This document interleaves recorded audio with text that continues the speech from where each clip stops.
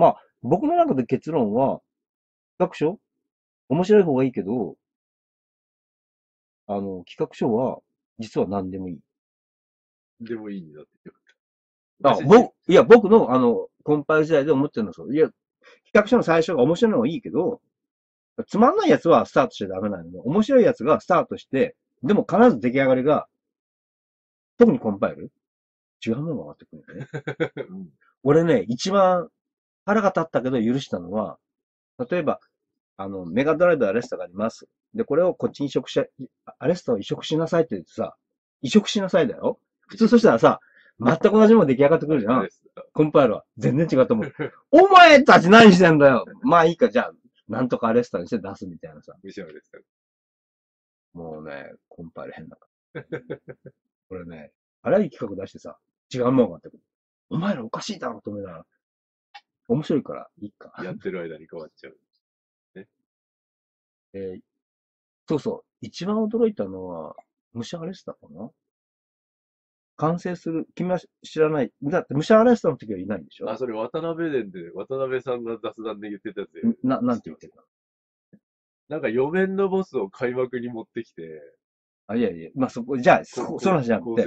俺の中では、俺の中ではお、完成する1ヶ月前は、俺の中ではクソゲーだったの、ムシャアレおで、そこで、ヒロノさんを投入したい。1ヶ月後に。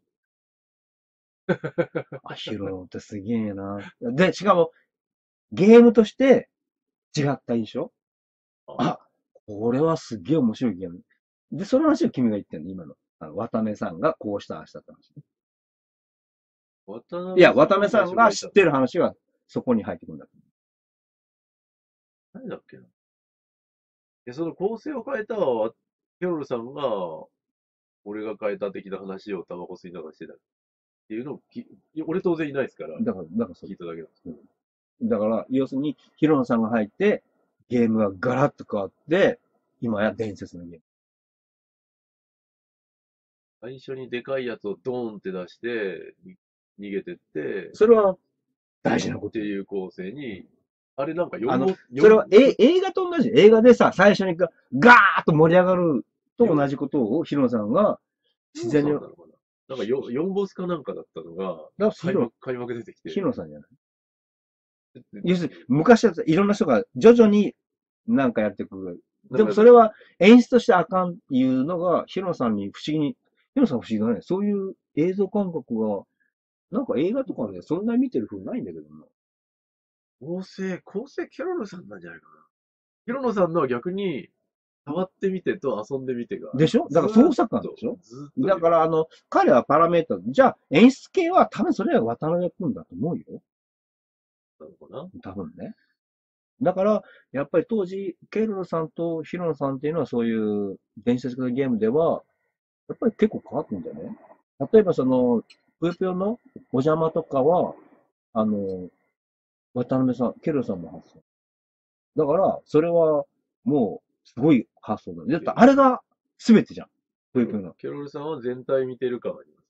だから、あの、うあ、まいヒロノさんは操作系とか。うまい人同士だけじゃなくて、うまい人で戦だってった時彼はさ多分知ってると思うんだけど、元、あの、プロの、あの、漫画家じゃん。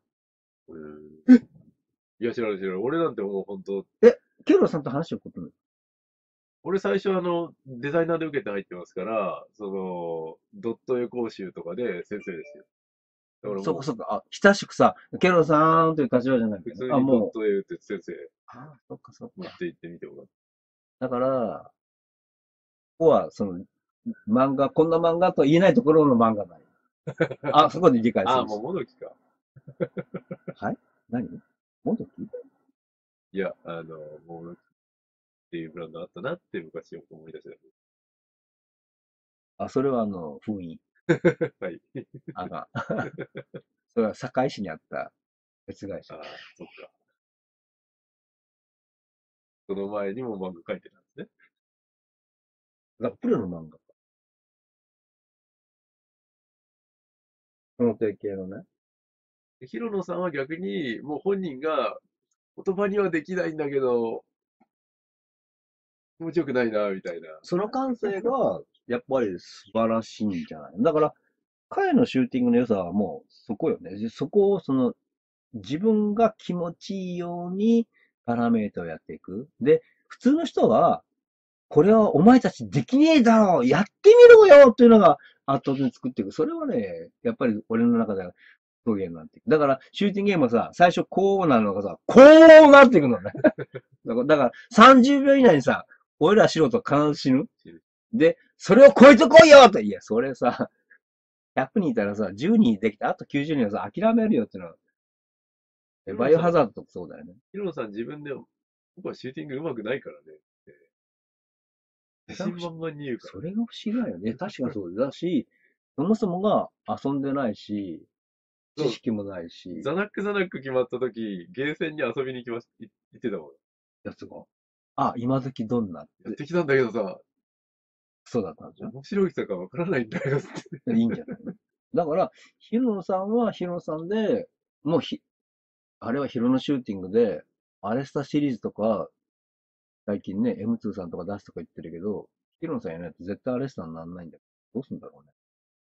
アドバイザーで入れるのかな？わかんないんだけど。僕はアドバイスだよ。ヒロノさんがいないとアレスタにならないよ。で、アレスタって言っちゃいけない？だからヒロノさん聞いたら、アレスタっていうのは、まあ、もう出ない。なんちゃってあれさ。なんちゃったアレスタは、やめよ。よコンパイル的には遊んでから良くなるっていうの絶対ありますからね。いや、ヒロさん言ってたじゃん、その、気持ち悪いから、で、そこが大事なんであって、文章はできないし、スケージもできない話なんで、で、そこが大事なんで、そこをコンパイルや、あ、でもここはいるね。だから、ゲームというのは、作りましたで終わ、よその会社は作りましたで終わるんだけど、作りましたから遊び込んで、あの、面白いところを操作とか、流れとか、展開とかの、徐々に変えていく。で、そこに思いつくことは全部入れていく。そ面の、白いものが大事なのはあ我々がこのゲームにはこんなアイディアがあるよというのは、あの、よその会社は10個あったらもったいないから3個入れて7つは次にやろうと言うんだけど、そうじゃなくて、その場で全部入れるっていうのが大事なのね。アイディアはね。入れ込む。そしたら、お客さんが見たら、発見するたびの面白さ。で、発見しきれない。10年後にさ。こんなことが発見しちゃった。ええというのが、いや、ゲームの面白いの基本で。だから、なんだろうな。難しいところは避けて通れる。これがコンパイル。そうそうそう。で、人はそれで面白い。で、難しいところもいける。やり終わった後に、あ、あとあれとあれとあれやり残したなってまたずっとやり。そう、だから、その、そうそう。だから一つのゲームを一回クリアしても、二回目三回やっても、新しい発見がある？某ゲームみたいにさ、ガーって一本道行ったら次は同じ道だからもう二度とやんないっていうゲームとはちょっと違う。いうのがやっぱいいゲーム？今真逆なんですよ。お話仕立てに。いや、だからそこはいいって。だから、終わったのかな、じゃあ。どの話？いや、だから、企画は、だから、一応要点でまとめるけどと、操作性がいい。操作性というのは2種類あって、あのークリック回数が少ない。で、スーッと動く。スーッと動くが大事なのね。あとは、その、操作性の中で、わかりやすい。例えばボタンとかがわかりやすい。チュートリアルってわかりやすい。チュートリアルも、あの、面白おかしく楽しく、その、お勉強みたいなのはダメなのね。なんか、遊んでるうちに分かっちゃった、みたいな、いうのがいいよね。俺の中で今、一連の話で分かったのは、新谷社長が発言するときのゲームと、俺が発言するときのゲームが、そもそも重なり、重なってない。いいもっと重なってるけど、大部分重なっていないのというのがよくわかります。そういうこと俺は、コンパイルでどんなゲームを作ってきたかの、一応、全部共通項の話をしてるわけ。世代的なものかもしれない。世代的じゃなくて、違う違う違う。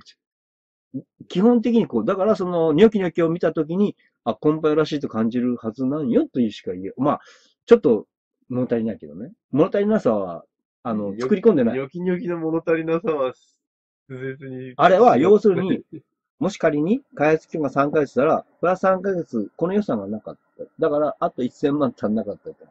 システムできてからの、あれこれっていうのを何一つやってないな逆にそれを拒否られたからね、全部ね。で、俺たち思いつくんだけど、予算があって。